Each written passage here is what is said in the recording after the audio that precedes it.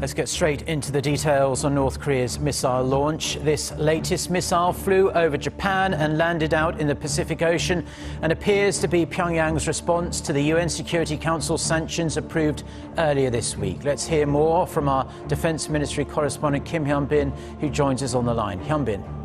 Uh, good morning, Mark. Uh, North Korea launched what we know now was an intermediate ballistic missile early Friday morning from an area near Pyongyang.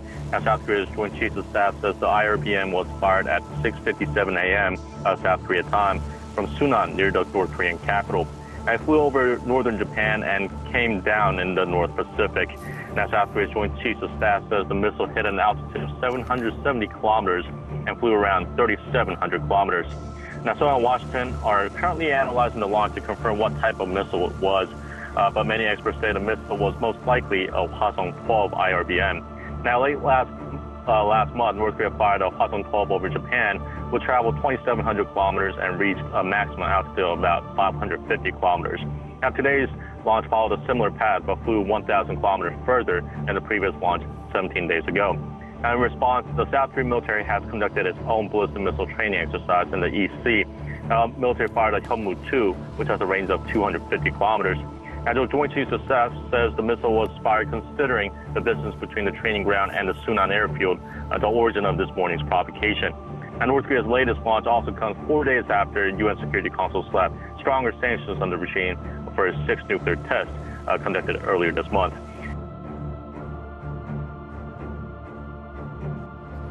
Japan deployed Patriot missile launchers in central Tokyo on Tuesday, a move officials said was aimed at providing ballistic missile defense in the event of a possible North Korean missile launch.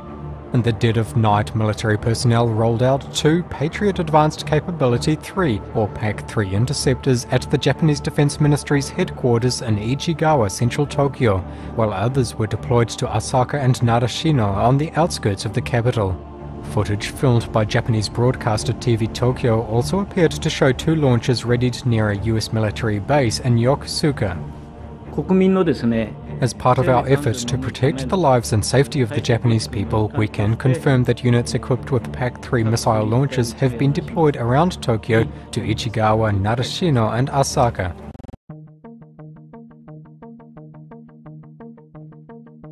Meantime, other developments. American troops are also taking part in Sweden's biggest military drills in more than 20 years. They're called Aurora 17 and they're taking place on an island in the Baltic Sea.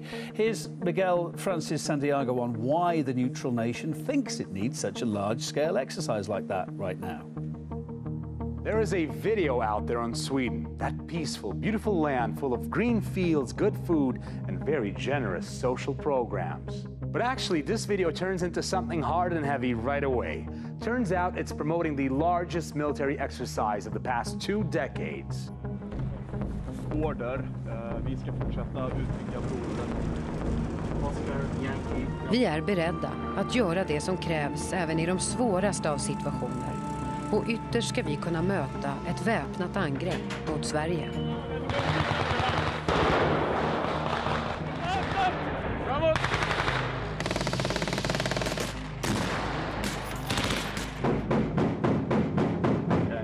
Not just any exercise, but one designed to deal with, I quote, a larger, sophisticated opponent, the one that will approach from the east. 19,000 participants just from Sweden alone, as well as military forces from eight other countries, have joined these drills called Aurora 17. And you guessed it, the United States is also there. The United States with our allies and partners are doing this. This is normal business for us. That's going to be our posture, normal business. Uh, we train all the time. Uh, we work, uh, soldiers work always to be at the highest level of, of preparation, not alert, but being prepared. That's, a, that's our job. That's what you would expect us to be ready, just like you expect the fire department to be ready, the hospital to be ready.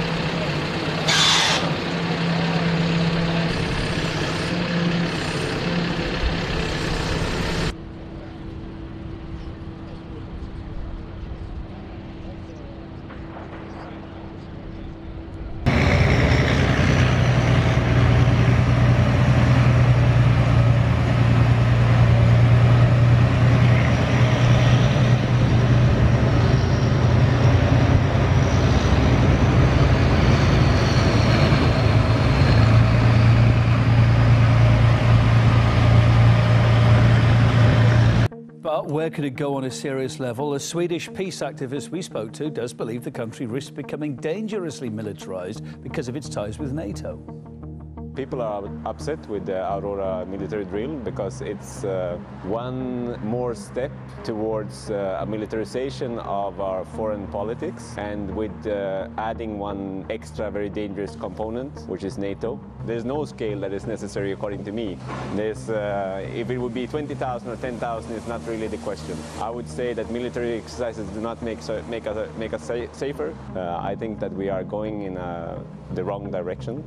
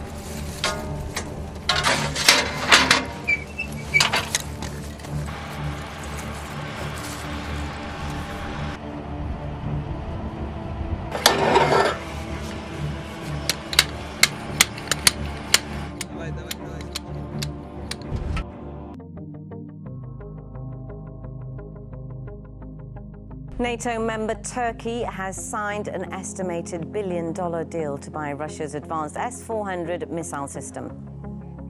The S 400 missile system deal has already been signed by officials.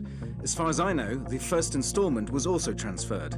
This process will continue between Turkey and Russia. Well, the delivery of this particular system, it's a Russian S-400 system, which is surface-to-air missiles. And what we're looking at here is the first installment, the first payment on a deal that we estimate is worth around 2.5 billion US dollars. And Russia's new system is the next-generation air defense system. And we're looking at a range of targets, aerial targets, ranging from aircraft and also non-manned aircraft, drones, and also varying types of missiles. And to take those targets down, we're looking at a system that deploys three different types of missiles. This new system is apparently twice as good as the old one.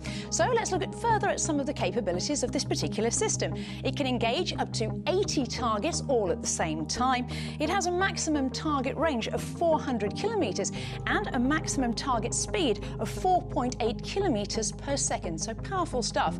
We're looking in terms of those who've bought it, as we say. We're talking about the Turkey deal. China have already requested it. And also it looks like India are, they're, they're interested in this particular deal as well. And it's also being deployed in Syria. So that, that's the particular deal. That's what the, the system can do. But also, what are the wider implications? Well, as we know, Turkey is a member of NATO. It has the second largest army amongst the allies there. And Washington has already voiced some concerns. There have been some, some worrying murmurs from the Pentagon about this deal going forward, which have now, of course, it's gone through.